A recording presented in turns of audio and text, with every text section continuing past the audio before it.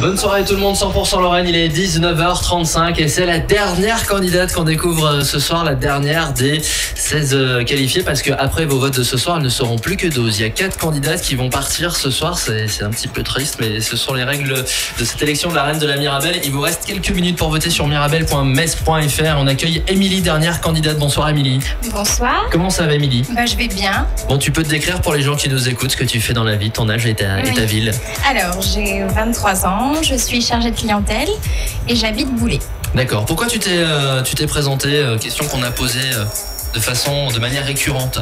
Et ben, c'est pour faire plaisir à mon papy que je me suis présentée, puisque ma marraine, donc sa fille aînée, avait été euh, élue euh, dauphine de la Mirabelle. Ouais. Et donc, bah, c'est pour euh, faire plaisir à papy, puis montrer que sa première petite fille peut faire de même. Bon, on papotait un petit peu en antenne avec toi, Émilie. Tu m'as dit que tu adorais les Desperate Housewives. Oui. Et t'as une actrice un petit peu fétiche, c'est Eva Longoria. Tu nous as même dit, ça nous a fait beaucoup rire, que tu avais tous ces jogging. Et bah oui, hein, euh, j'aime bien. La journée, je m'habille quand même toujours bah, pour aller au travail euh, de manière un peu bah, tailleur. Mm. Donc euh, le soir, j'aime bien mettre mes petits joggings. Et puis comme j'aime beaucoup Eva Longoria, les petits joggings en velours de toutes les couleurs, bah, je les ai dans ma garde-robe. Bon, parfait. Est-ce que t'as un petit mot pour euh, les auditeurs de 100% Lorraine pour qu'ils votent pour toi là? Parce que c'est maintenant ou jamais sur mirabelle.mes.fr, les amis.